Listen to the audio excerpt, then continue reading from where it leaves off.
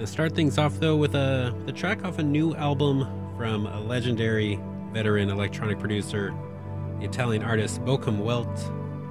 Just dropped a beautiful ambient leaning new release titled Seafire just a couple weeks ago on Central Processing Unit Records. Gonna start off this set with the track More Light.